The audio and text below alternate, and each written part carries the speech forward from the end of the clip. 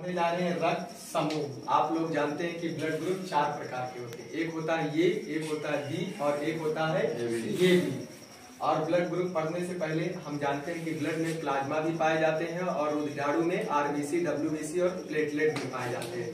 Plasma में एक प्रकार की एंटीबॉडी पाई जाती है जिसको हम डिनोट करते हैं स्मॉल ए और स्मॉल बी से। और ब्लड के अंदर आरबीसी पाया जाता है, जिसको हम उसके अंदर क्या पाया जाता है? आरबीसी के अंदर एंटीजन उसको हम कैसे डिनोट करते हैं? कैपिटल ए और कैपिटल बी से। अगर